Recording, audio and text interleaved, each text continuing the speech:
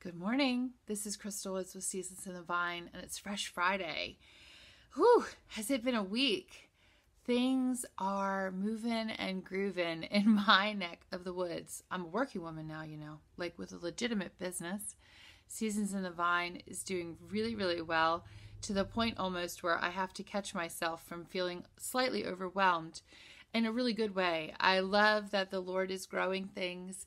Um, I'm also very, very acutely aware that I have nothing to offer people in myself.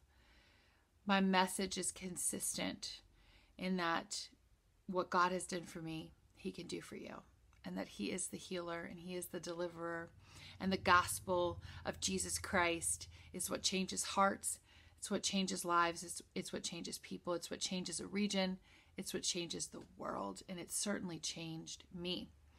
And so that's my foundation, that's my root system because in myself, there's no way I could do the things that are happening. It's really Him, and I just position people to engage with the presence of God, to engage with the Lord God Almighty in real time.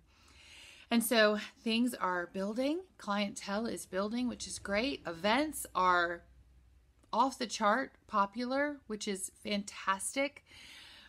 And I feel overwhelmed at times, and I began to get that anxious feeling. And that's what I want to talk to you to, about today. I want to talk to you about how fear can be used to advance the kingdom. And this is how I want to explain it fear can be used to advance the kingdom and how to do it. And so I woke up knowing I have this huge event tonight because you guys are seeing this Friday. Uh, uh, the turnout, I, I I'll tell you afterwards. I don't even feel like I can say it right now, but the turnout was so much greater than I had thought or anticipated, and we just kept increasing the amount of people um, that were going to be there because people want to meet Jesus. People want to worship the Lord. People want to feel his healing touch. They want to have wounds mended. And so, how can I say no to that? How can I say there's a cap? So yeah, just just keep coming out and we're going to set an environment and and we're going to let the Lord come. But in that, there was this human response in me where I was anxious. I woke up feeling just like almost a little uh, panicky about the the weight of the expectations maybe that I was putting on myself. I don't feel like other people are putting that on me, but it was just all the moving elements, you know, of the evening and then working still this week and I was just feeling some things and I know we have to agree on this that God does not make us afraid. He does not give us a spirit of fear. And so I knew that my upset was not from him but could definitely be used by him. Did you know that?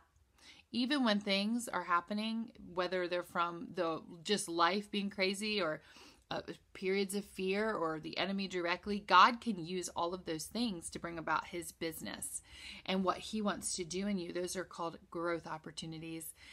And so before me, I had set this fear within me and I went right to the Lord with it like I'm feeling I'm feeling anxious and I don't want to. So, what is going on? And that is the first thing that you can do to take your fear and use it to advance the kingdom of God. Because fear can be a tool of indication that there's an area in our lives that we are not in alignment with God, that we're not trusting God the way that we're supposed to and designed to, and the way that we're called to. And so that fear that I had was because I was thinking about my human limitation to actually get all of this done and to to deliver whatever I thought I needed to deliver at this event. And I needed to go to the Lord with that. And he showed me, he said, Well, Krystal, you're fearful because you know you can't do it. And you need to acknowledge that this is not something that you can do, and that's okay.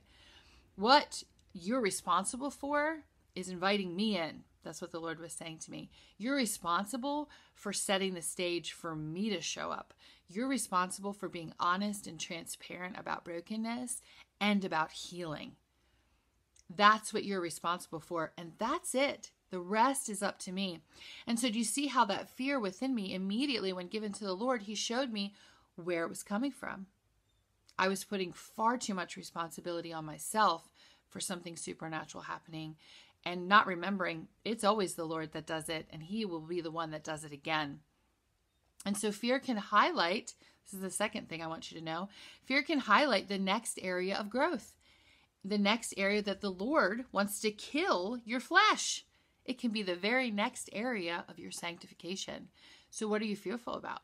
And what does it look like in your life? Like for me, it just looks like getting back into working again. Um, but being my own boss and, and putting my own self on the line and my own name on the line and my own ministry on the line and and shifting even the ministry into a healing and deliverance ministry where we are preaching the gospel like I'm doing right now to you and what I do at my events but then we're we're saying like Jesus wants to heal and we're praying for healing and we're delivering people from demonic possession, oppression, um, in the name of Jesus. He's the one that does it. But like we're moving into that because this world is bound and there's freedom in Jesus. And so just seeing how God, because it's not like I set out necessarily to gear it this way, but people are looking for help. And God is bringing them to these events and to um, to seasons in the vine because they are hearing that God is moving there, and that made me feel fearful, right? Because I'm like, you know like this is this is nothing i can do. Like I, i'm not a healer. I'm not a deliverer. I know who is. And getting people into the position of encountering the lord for that. And so i just had that tension of like overlapping responsibilities. I'm just being really transparent. Like this is this is big stuff. The response has been really powerful. And the lord is showing up very powerfully. And i mean time and time and time and time again people are coming out with testimonies and it's blowing my mind. And with each one, I felt myself putting an expectation on me, though. They're like, I have to keep this up somehow. And that's that was where the fear was coming from because I was beginning to put that responsibility on me. And the responsibility always is on the Lord, right? Because it's His burden to bear what He wants to do with His people. It's my job to just provide the atmosphere. It's my job for just believing that he is who he said he is and that he desires to heal people's emotional wounds, physical needs, mental wounds, and spiritual wounds. That's what he wants to do.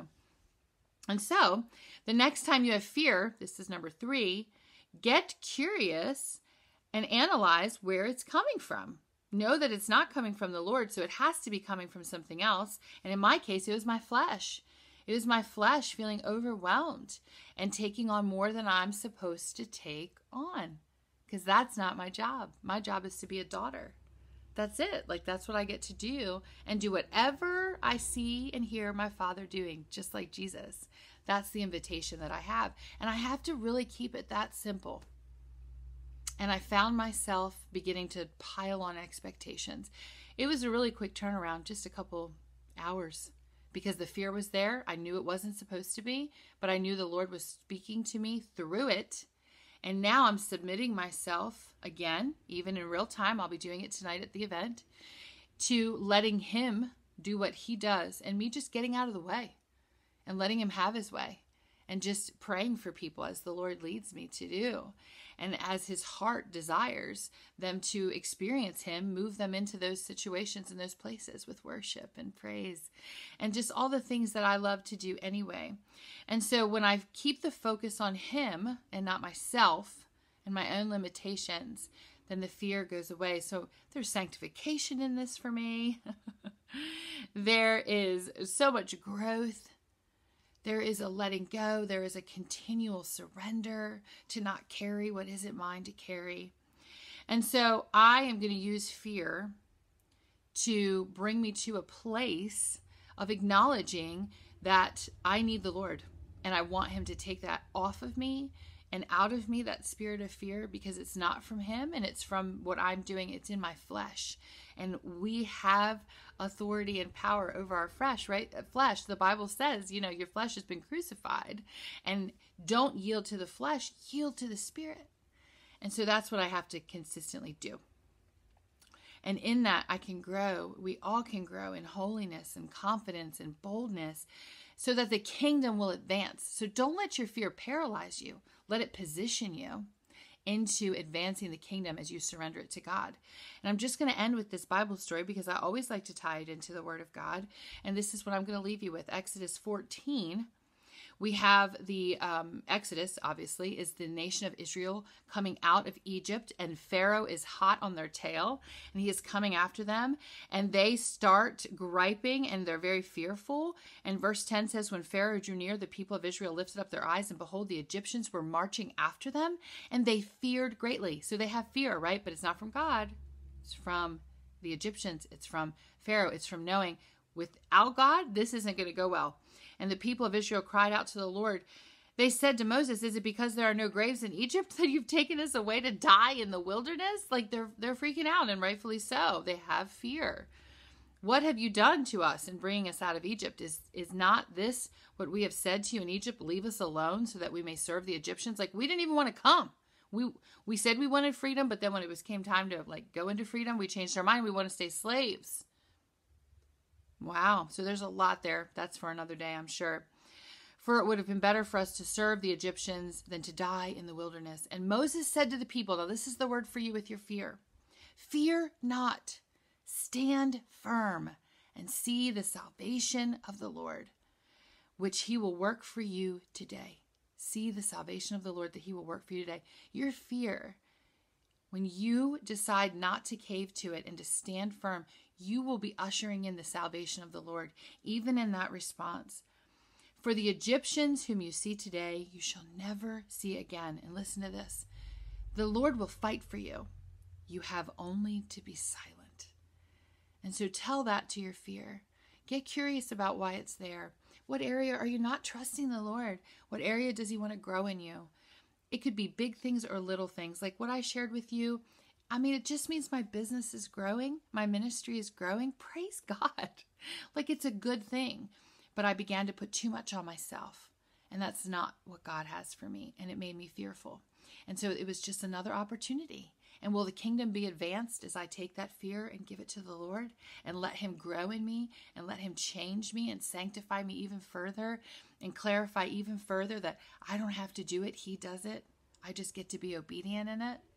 Yes, that advances the kingdom, friends. So think about that with your fear. Much love and blessing. I pray you're all doing well, and I will see you next week.